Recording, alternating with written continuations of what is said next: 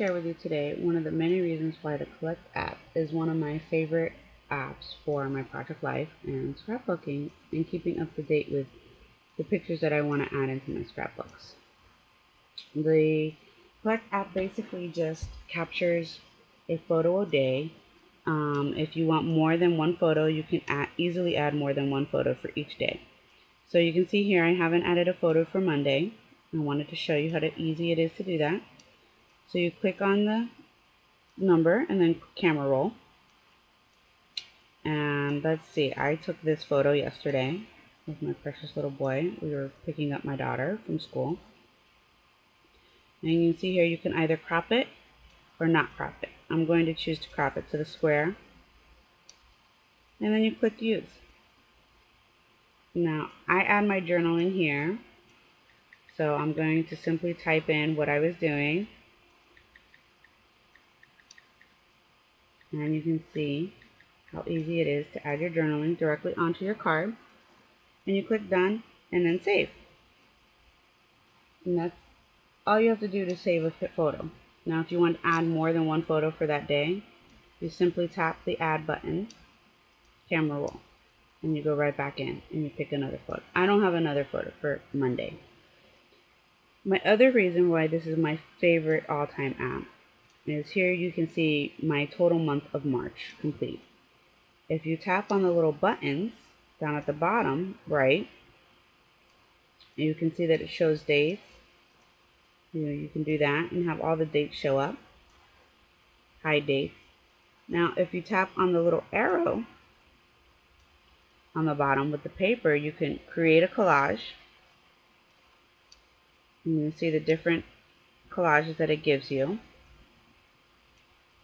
You can export the photos, which is a great option to have. So I have 73 photos in March. If I tap on export, sorry, click the export style, and you have 4x6 Polaroid or landscape or 3x4. Uh, the 3x4s are great for your project life layouts and awesome for design F project life layout, which is basically nine 3x4s and one 4x6. So if you tap on 3x4, then back, and then you click on export, you can export all the photos to your camera roll or to your Dropbox account. So if you tap on Dropbox, you see it generating.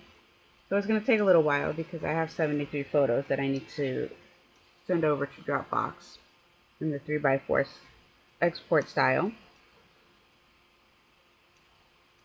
And there you go. It's automatically exporting all of my photos to my Dropbox. I will show you how to link the Collect app to your Dropbox in a minute as soon as this is done. Okay, so to go ahead and connect your Dropbox, you're going to go to Settings. And you can see I have my settings set on to remind me to take a photo a day because sometimes I do forget. And if I get the little reminder, I do remember to go ahead and add my photo that day. And then you click on Dropbox and you can see that my account is already set up. So it's very easy to set up your Dropbox account and link it to your Collect app by just simply putting in your username and your password. You can also set up a Flickr account. And all you have to do is add your username and password. I don't need my Flickr account set up because I don't transfer my photos to Flickr. And after that, you're all done.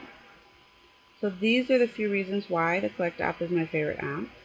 You can also change when you download the app you get one set view of your journal cards but if you pay the $1.99 you can have different views and you can click on edit details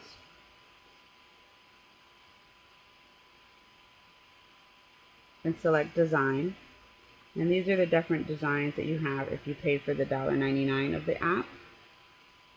As you can see, this is the one that I chose. And that's the one that will be used for all of my photos. Thank you for watching this video on the Collect app review by scrappingwonders.com.